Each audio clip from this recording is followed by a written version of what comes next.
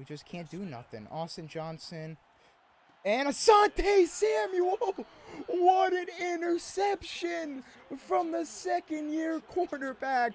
We got Keenan and Mike Williams in single coverage. Can Mike get it? He gets it. Or what's going on, everybody? Welcome to this Los Angeles Chargers Madden 23 franchise. I mentioned starting a franchise like at the beginning of my Face of the Franchise series, and some people said do it on my favorite team, the Chargers. Uh, now, Madden start today, or whatever it's called, it's broken. It only starts from week one. It's similar to 2K. Um, so, as you can see by the standings, I got some teams right. Like, I got three out of four teams in the AFC West right. But there are some teams that are, like, very, very wrong. Now, I could have just looked at the schedule, but that would have took way too long. I just kind of did it based off memory. And I made some mistakes, I guess, when I was just going through all of them. Some mistakes were made. Uh, so the Broncos are 1 and 5. Other than that, the rest of the standings are correct. But if we go to view standings, you can see um, the Eagles are 6 and 0.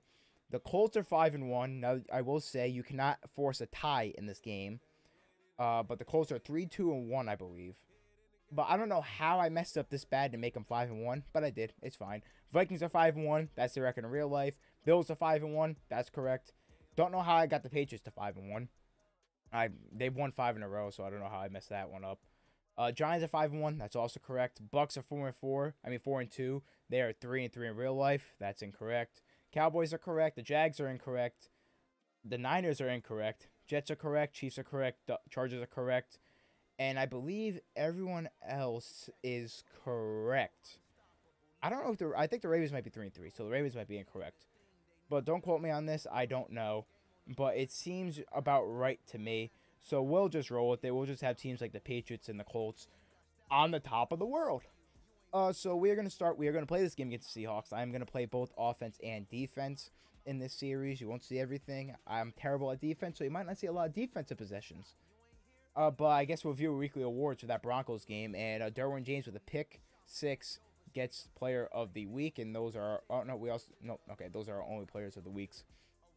Uh, so yeah, there we go. Choose draft class. I will import my local file, which is the current draft class with CJ Stroud and the boys, and we'll do we'll see what we're gonna do with the series. I don't know.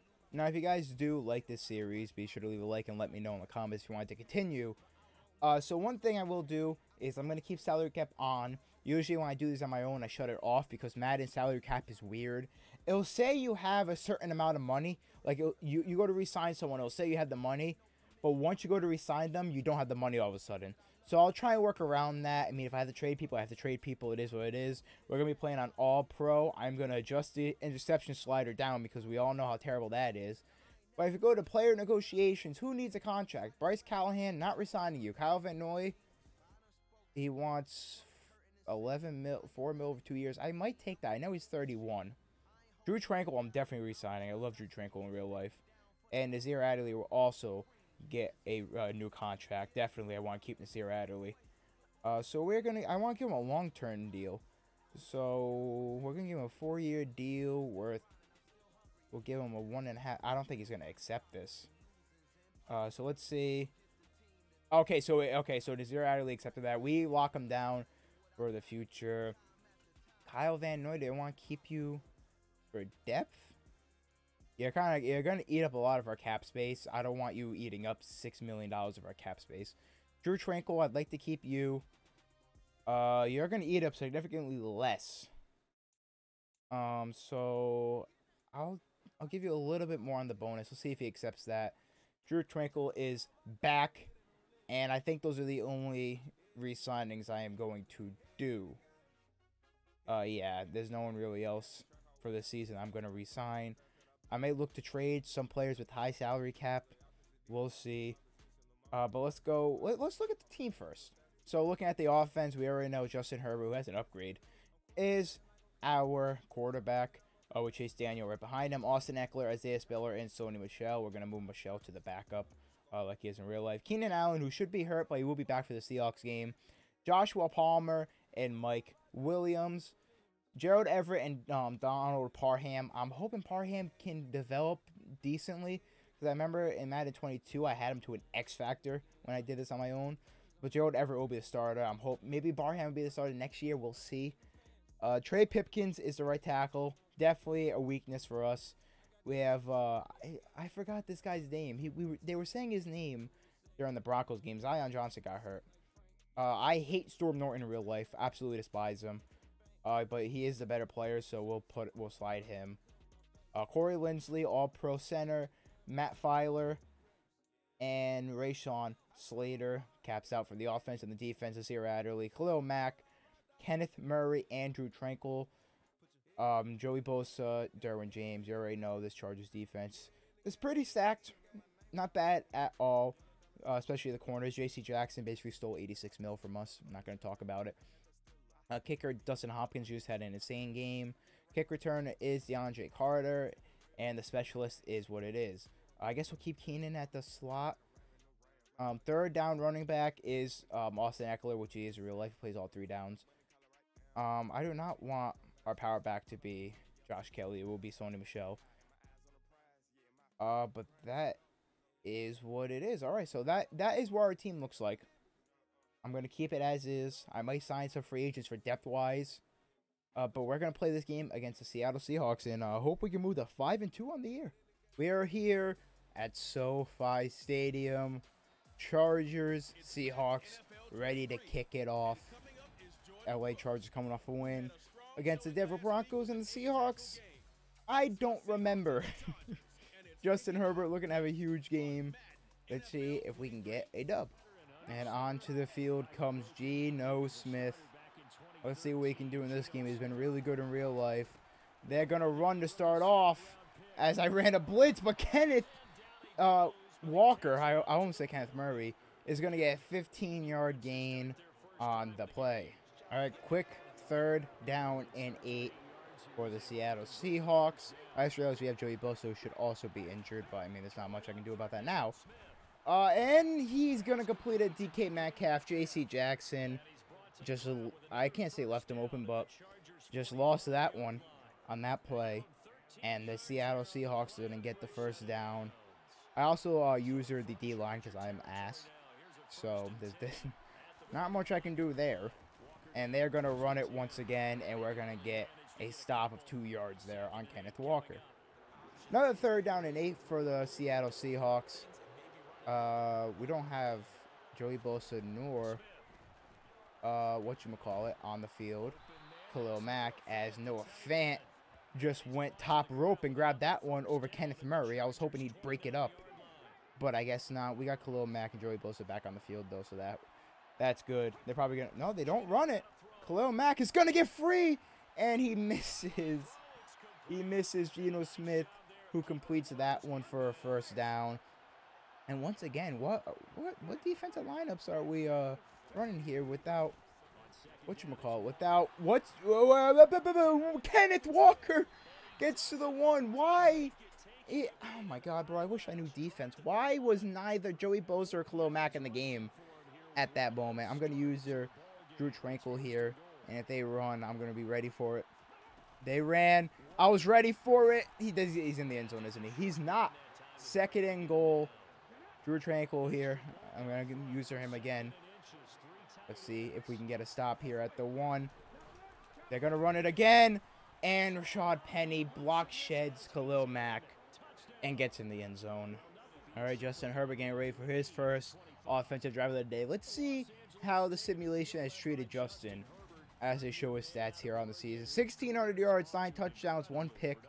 Then was very similar to real life. He has, I think, 15. Well, he's probably up to 1,900 now. Uh, 10 touchdowns and 2 picks on the season. So pretty damn close. Let's see how I ruin it for him. But we're going to start off with a run first with Austin Ekeler.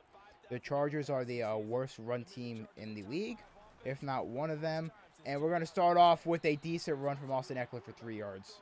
Second and seven here. We're going to run pass and see if we can get a conversion here. I'm going to give it to Gerald Everett, who is going to beat Blitz Boy Jamal Adams on that post route for a gain of 29. Got a first and 10 here after a few completions from Justin Herbert. Can we continue that streak? Gonna give it back to Gerald Everett for a gain of about eight. I believe they give us seven. Second and three. Three for three, 45 yards on the game for Justin Herbert. And 36 of those come from Gerald Everett. Storm Norton is going to get a good block, but we do not get enough yardage there. Third and one, bring in Sony Michel. Let's see if he can get the first down for us. Sony Michel, he is going to be short. We're the Los Angeles Chargers. We're going for it. Fourth and inches. We got to go for it. Got to go for it. Sony Michel, get us that first down. And he's going to do just that. Sony Michel gets just enough, and we convert. We have Austin Ekeler in the game. Keenan Allen is my primary target here. Can he get it? No, it's going to be Gerald Everett in the end zone. We're tying up the game seven apiece. Second and one for the Seattle Seahawks. I don't like Tyler Lockett out there man to man with Asante, but they're going to run it anyways. And Rashaad Penny is going to get in the end zone for his second touchdown. We can't do nothing on defense. All right, getting ready for a second offensive drive. Seattle has been killing us, mainly with the run game. Trying to see Keenan Allen is going to get open midfield. Herbert, 6 for 6, 88 yards, and a touchdown to start this game. You'll love to see it. We're going to stay with the passing game. We're going to run another play action for Keenan Allen. And let's see what he can do. He's He was open, but the pressure was too much. Keenan Allen in the end zone touchdown. I did not expect a touchdown on that play, but Justin Herbert threw a perfect pass to Keenan Allen right over the defender, right in his hands, and we once again have ourselves a tied game. We've reached a two minute warning, and the Seahawks are just killing us on the offensive end. It's not looking good. As Khalil Mack was going to break free, but Geno Smith is just slinging the rock here. We, I can't stop him. I, this just shows how bad I am on defense. This is why I use the D line. I can't do anything. As Austin Johnson is going to get to Geno Smith and get a sack. Much needed. Second and 17. If we can hold him to a field goal, I'll be very happy. Very, very happy. Uh, Khalil Mack, can he get to the quarterback? He does but he completes it for a gain of six. Third and 12. Clock stops. Can we get a stop here? Force a field goal. Let's see. Oh, Joey Bosa on the edge is going to in. Oh, did we get him? He got the first down. You got to be kidding me. I got the first and goal. Just bad, bad defense, especially on that inside. We just can't do nothing. Austin Johnson and Asante Samuel. What an interception from the second year quarterback. Oh my God. Please, please show a replay. I need a replay for that. What a pick from Asante Samuel. Geno Smith to the corner of the end zone. That's not realistic at all, but it's Madden. Gets both toe. Yep, that's a thumbnail, bro. That is 100% the thumbnail. We have 28 seconds left. Two timeouts, second and one, trying to get into at least field goal range. Because we get the ball at halftime. We got Keenan and Mike Williams in single coverage. Can Mike get it? He gets it! But there's a flag on the field. Will it be pass interference? It will be pass interference on the defense. We are at the two yard line, 21 seconds, and Austin Ekeler can just run this bad boy in for his first touchdown on the day. He does not get it in. Oh my God. Austin Ekeler, bro. You had that in the bag and you ruined it. All right, Keenan. This might be your touchdown here. Let's see. Keenan, he catches it. We take a one possession lead. Keenan Allen in the end zone after a huge catch from Mike Williams. Chargers back up on top going into halftime. All right, in the third quarter, we have a first and 10 here at the Seattle 36. And Blitz Boy is going to leave Mike Williams in coverage, and it's a touchdown. You can't leave Mike Dub in single coverage. It's a touchdown every time. Mike Williams, his first score of the game. second big catch. Justin Herbert to Mike Williams. We're up 28 14 against the Seattle Seahawks. Oh my God. Asante Samuel, his second pick of the game. Another fantastic interception from the second year player, Asante Samuel. Ray reads the play beautifully, gets both feet in, and gives us the ball right back on offense. The defense is playing fantastic in the second half, forcing the second turnover of the game for the Seattle Seahawks. And Austin Ekeler is going to get a big run there. Oh, he fumbled it. Another turnover by the Seattle Seahawks. Alohi Gilman, I believe, forced that ball loose on Kenneth Walker, and Drue Tranquill picks it up. Yes, that was indeed Alohi Gilman, and the offense is back on the field. This game is more than over. And I am just super simming the end of the game because it was indeed over. We're going to walk out victorious in this matchup against the Seattle Seahawks. That first half, it was looking a bit iffy, but we finish it. Gene, uh, Justin Herbert, perfect passer rating, four incompletions, 362 yards, and six touchdowns on the day.